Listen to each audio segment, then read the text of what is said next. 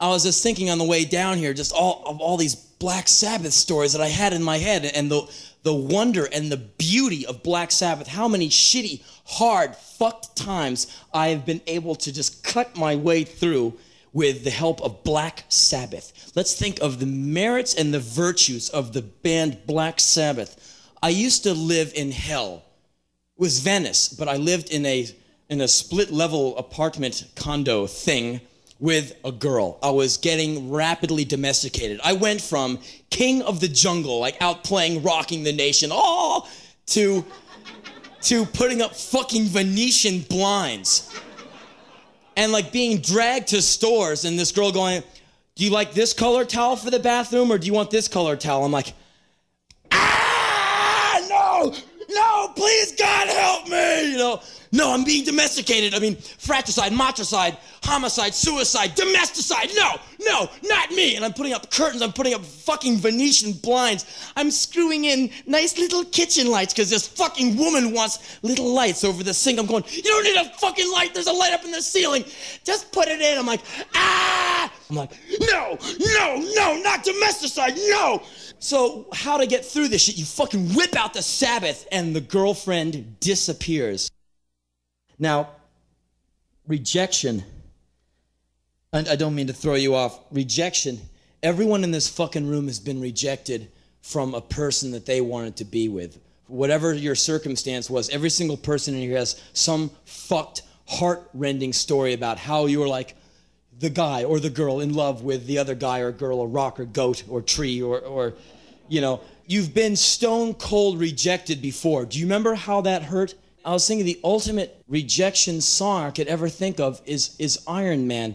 You, don't, there's no wonder why the woman comes home and finds her man with another woman, takes out the family gun and shoots both of them. Because rejection fucking hurts, you know? In the song Iron Man, not only does Iron Man reject the people who he once helped, he kills them all. He destroys all of them. Imagine See, uh, Iron Man turned to steel in the great magnetic field. I don't know where that is. But think about Iron Man getting arrested. You know, he just he just got finished like incinerating Bakersfield, and he's walking back to L.A. going, "Damn, those fucking rejected me. Now I had my revenge."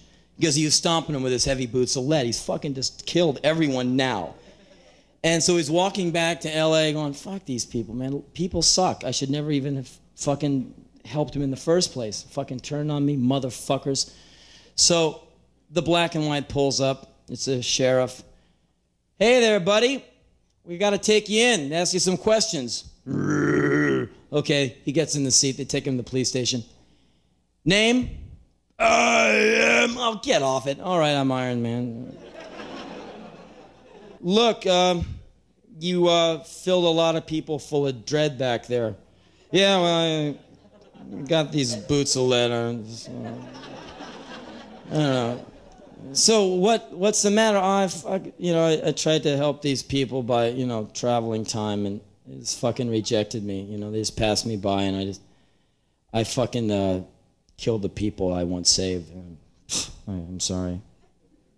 Hey, you know, rejection sucks. You know okay, well, you are pretty awesome, so I, guess we'll let you go. Don't just cool it, will you? Yeah, all right. You know, no one ever thinks like that about someone like as as awesome as Iron Man getting busted. I mean, how many times have you wanted to be like Iron Man? Like when you get fucking get your crank yanked at the gas station or at the unemployment office or at the post office standing in line with a bunch of fucking retards. It would just be like so nice to go